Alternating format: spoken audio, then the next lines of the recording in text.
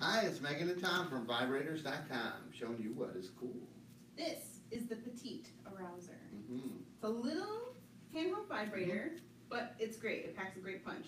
I always, I always call things like this a pebble, pebble vibe. oh yeah, okay. It kind of look like a pebble. Oh, probably, yeah. Yeah. Don't throw this to skip on the water though. No. You want to keep this. It'd be exp- expensive stone skipping. Yeah. Yeah. Look at that. One button on the back. Light up. It'll light up, and you got power. Yeah.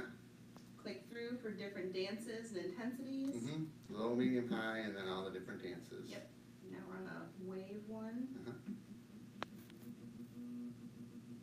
Different dances. Uh-huh. And then what's really cool is you can lock this. Yep. A lot of the premium vibes have a travel lock. You hold the button down for four seconds and it will lock. And it gives you a little buzz to let you know you're locked. So Yeah. even if you press the button, Nothing. nothing happens. So if you press and hold for Four more seconds. four more seconds, It'll give you a buzz to tell you it's unlocked. and you're ready to go again. Yep. It's really cute. It's cool too. Yeah, yeah. Well, it's not, also it's squishy.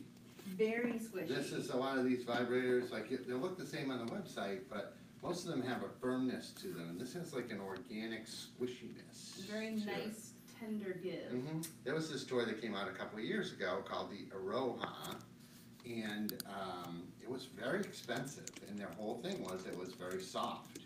Um, but we didn't pick it up because it was weak, and we don't sell weak vibrators. That's not vibrators.com. No.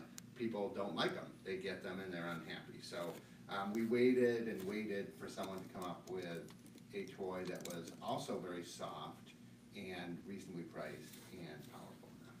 So this is it. Again, once it's unlocked, to turn it on, you just press it quick.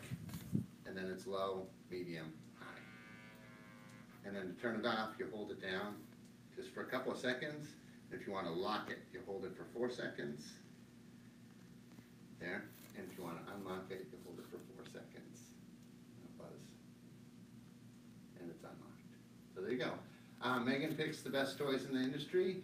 My team ships them to you privately. We're vibrators.com. We've got over a million satisfied customers, and we hope you're next.